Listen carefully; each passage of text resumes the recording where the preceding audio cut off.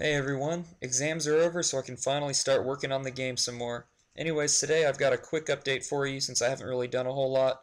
Um, first thing I want to show you is something that's not very visible. It's that I have multi-threading now. I've created a thread pool that has eight worker threads that will help load chunks. Uh, the threads are dedicated to the loading phase of uh, chunk generation.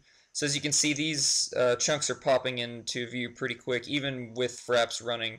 So it, it really made a big difference. It's probably about a 60 or 70% speed boost when loading the world like this. And the initial loading phase of the world is almost tripled because it's vastly parallel. I haven't tried it on any quad cores, but on my dual core it seems to help quite a bit. Uh, the next feature is some occlusion culling that was much needed. If you look underground, you'll see all these caves. These caves have a whole lot of geometry associated with them that gets sent to the graphics card, and it, it really ends up kind of bogging down the game, especially if you have a really big cave system under a forest or something like that. It's just way too much geometry. So why send all that to the graphics card if, it, if there's no way you could see it? So instead, I've created an occlusion culling algorithm. I haven't created it, but I saw it on. I've read about it online. It's a flood fill algorithm where you just simply go from cell to cell, checking to see if the edges of the chunk are completely occluded by blocks, and if they are occluded, you can't flow to that cell. And I use this flood fill to determine which chunks could possibly be seen by the eye.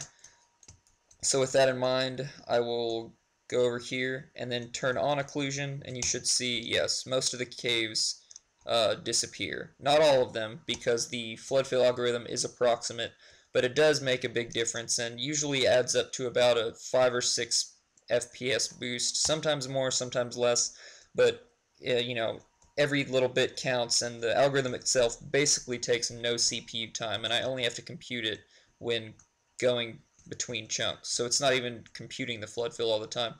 The last feature that I want to show you is uh, new particles. Whoa. Found a bug. Anyways, new particles. Um, I mean, they look the same, but I just changed the way they're rendered. I used to be sending, uh, I used to be computing them mostly on, mostly on the CPU, and I'd be sending four vertices per quad to the graphics card. Instead, I'm sending only a single vertice, and then I am expanding it into a quad in the geometry shader. And it seems to be quite a bit faster, and the billboards face the screen better. And uh, so the next step is to just be able to pick them up. Uh, additionally, they also, unlike before, they react to sunlight and block light now. Let me grab some light. So if I break them and then place a light, um, well, I lied. I thought it was working, but it's not. Anyways, uh, thanks for tuning in, guys. It seems to be kind of working.